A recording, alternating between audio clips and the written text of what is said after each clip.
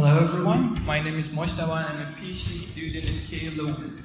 In this presentation, I want to talk about one of the design considerations in 3D printed implants, and that's uh, biodegradation behavior. Uh, besides traditional approaches to manufacture orthopedic implants or bone repair implants, patient-specific 3D printing is uh, gaining popularity in recent years. And that's why a PROSPEROS Project is a consortium of multiple universities, research units, and companies. We are working on the manufacturing and design of these implants. Uh, beside uh, manufacturing difficulties, considerations, material processes, synthesis, and these sort of things, there is another fact that should be taken into account, and that's design optimization.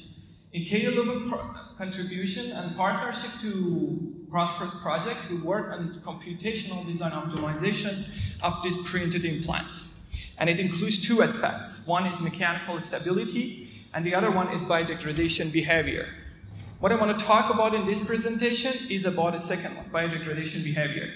And in order to clarify that why it is important, I have to go one step back and talk a little bit about the disease on which we are working.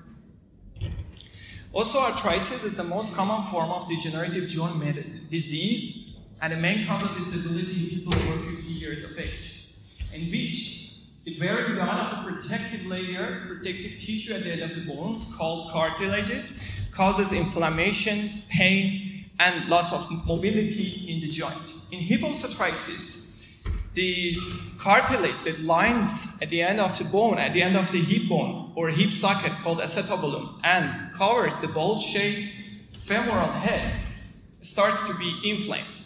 The inflamed cartilage degenerates over time narrowing the space that normally exists between these two bones. Although new tissue, new cartilage may regrow, but they are usually bumpy and irregular, causing further causing friction in the joint. The damaged cartilage will degenerate completely over time, causing further friction in the joint, and as a result, there would be loss of mobility in the joint between these two bones, acetabulum and the femoral head. Uh, femoral head. The solution to this problem is a surgery called total hip replacement, in which the damaged unit is replaced by an implant that recovers the ball and the socket of a healthy joint. First, the damaged femoral head is removed, and then a surgeon carefully clears all the damaged bone and uh, cartilages from the hip socket. And then a metal implant as well as a liner is placed into the socket. Then, the femoral bone is hollowed out and a narrow and lined implant called stem is inserted as well as a ball on the top. As a result, as you can see, the functionality of the joint is re restored. But there are a couple of problems and issues with these implants. One of the issues is, at the end of their lifetime, these implants should be replaced and removed. However, during this revision and removal surgery, part of the newly formed bone will be also removed along with the implant, making it difficult to achieve further mechanical stability. One of the best solutions to solve this problem is making at least part of the implant from biodegradable material. And it means that the material will, will disappear aligned with the growth of the bone. It requires tuning the degradation parameters of the implant to the regeneration rate of the new bone. And, and this has been achieved in this project, in this study, by building a mathematical framework for assessments of the biodegradation. The model workflow is we convert the underlying science to mathematical models and then the mathematical models to computational models, like any other studies in this regard. The underlying science is that this current stage of project is the chemistry of degradation. But in the future, it will also include the biology of new tissue growth as well as the physics of perfusion bioreactors in order to capture more accurate uh, cell culture conditions. Mathematical models mainly set of PDEs, partial differential equations, mainly a set of diffusion, reaction, convection equations in order to study the mass transfer uh, during degradation, as well as a method here it is level set, level set equation in order to track the interface because as I said, we are working on design optimization and we need to know the shape of the scaffold during the degradation. And then these are converted to computational models. Here is a mixture of finite difference method, finite elements, scientific computing libraries, and open source solvers. Uh, other thing that I want to show you is about magnesium scaffolds, but the same principles can be applied to other biodegradable metal materials with minor changes. The chemistry of degradation for magnesium consists of first uh, the solution of magnesium scaffold releasing magnesium ions free electrons. This free electron reduces water into uh, uh, hydroxide and hydrogen gas. The, the combination of these magnesium ions and hydrogen and uh, hydroxide will form a protective film on the surface of the scaffold, causing slowdown of uh, degradation process. But in the presence of some specific ions in the medium, the foam can be dissolved, and as a result, we can just see again an increase in the degradation rate. A model to capture this should continuously and simultaneously include chemistry of dissolution, formation of the protective film, and the effect of ions in the medium. In order to do that, it's not that much difficult. We can do that with a set of partial differential equations. We assume that we have first a reaction to for the film formation with the reaction rate Kr1, and then a reaction that shows uh, the solution of the film with the reaction K2. After having set up just simplification and notation in order to not to repeat the chemical notations in the equations, we will have a simple equation for magnesium concentration throughout the medium, an equation for the film formation, and an equation for the concentration of chloride ions in the medium. But it doesn't include the effect of the film. In order to do that, we calculate the maximum concentration of film that can be formed on a surface by just assuming that it's a porous material and its porosity and density, and then including a saturation term on the equations. And as a result, this is a set of PDEs that we should solve in order to capture the mass transfer during degradation. But it's not the whole story. The other part of the model is capturing the interface, the biodegradation interface, to, in order to know the shape of the scaffold during its lifetime.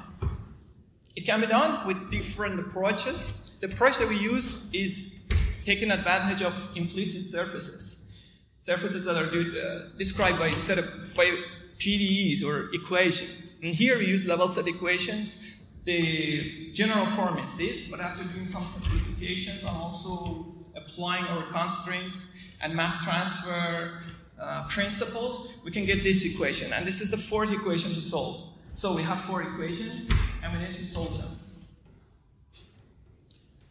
This is not feasible to take advantage of sophisticated software packages, I mean commercial packages that are already out there, such as COMSOL or Abaqus, because it's very difficult to have full control of the model, which we need, and as well as they're not that much high performance even when you scale up your simulations.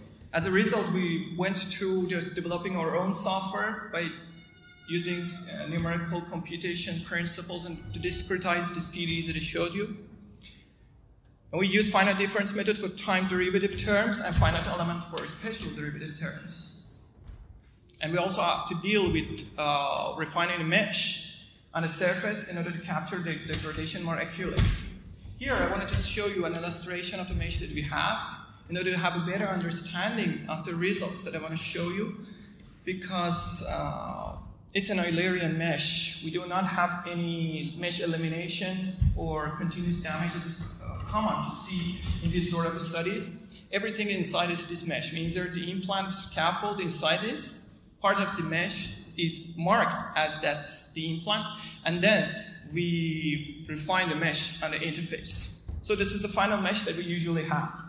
As an example of this in 2D, if you have a uh, cross section of a magnesium or porous magnesium scaffold, the mesh will be something like this. And as you see, everywhere is meshed. The mesh is refined on an interface, and uh, uh, both the medium and the scaffold all meshed because we, we want to study mass transfer inside.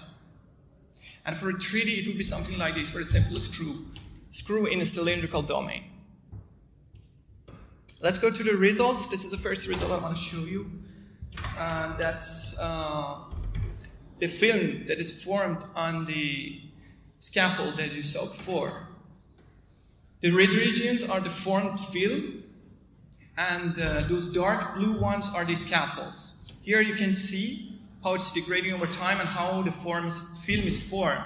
Both, are, both animations are at the same time, one with computational mesh and one without. Can see how the degradation is stopped according to the formation of the film in this condition. And this is a zoom out view of the same scaffold. You see again the formation of the film. A couple of 3D examples as well. This is a bulk material inside a medium, and you can see again the formation of the protective film on the surface. This is a sample scaffold, of course, a very small one in order to have an exaggerated uh, degradation. It happens very fast, but can see the release of magnesium through the medium and the degradation of the surface of the scaffold. And this is what has been achieved using that level set equation that I showed you.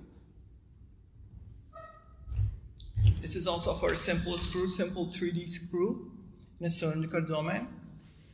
Re again, releasing the magnesium. And this is just a post-processing of the level set equation, level set uh, function that we had for a porous scaffold. And you can compare it with the initial shape with that uh, transparent surfaces. In order to verify and validate the model, we need different bioreactor setups for in vitro data because uh, we should accurately capture the physics of the bioreactor in a model, so it's important to have it just in experiments as well. And there are different approaches to validate the models. We can just directly measure the mass loss and continue with the predicted value in the model, or we can measure side products, such as hydrogen gas that is formed during the degradation. And we also had lots of sensitivity analysis or convergence studies because they're crucial for uh, in-house codes. At the first stage of the research, we are working with static experimental experimental setup that just generates uh, a criteria, data, some sort of data to validate the model. They are mostly related to immersion tests that a sample is floated inside a medium and then the side products such as hydrogen gases are measured and based on the stoichiometry of the degradation that I showed you, we can calculate the mass loss. It gives us diagrams like this in which we can, you can see the form hydrogen and here just as an example you can see the degradation is stopped after four days because uh, we have no further hydrogen evolved. We use those data in order to calibrate a model because uh, we have four quantities that are known and are not feasible to just get them from mm, thermodynamic databases. In order to do that, because the model is relatively computational intensive, we need an efficient approach to minimize the number of iterations that we need to run a model, and we use a Bayesian optimization approach. It chooses the points clearly in a smart way, so it reduces the number of times of, uh, of the time that we need to run a model indeed. And as you can see here, it's more towards the points, the desired points that reduces the cost function that we have. And the cost function is the difference between experimental data and computational data. And as you can see, the behavior of the, uh, the models is just the same as experimental data, but just according to the differences between reaction rates, it should be calibrated, something like this. And at the end, this would be the calibrated model. As a conclusion, as a, uh, yeah, I showed you that how we developed a quantitative mathematical model uh, to assess the biodegradation prior to going for any in vivo or in vitro experiments. And once fully validated, this model can be used to uh, assess right design and properties of magnesium or any other type of metallic implant materials for specific applications. Here it was specific orthopedic applications. Thank you for your attention.